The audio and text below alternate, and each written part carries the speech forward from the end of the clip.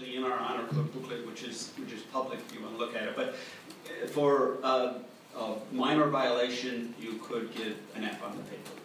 Uh, For, obviously, for more serious, of course, going up to dismissal.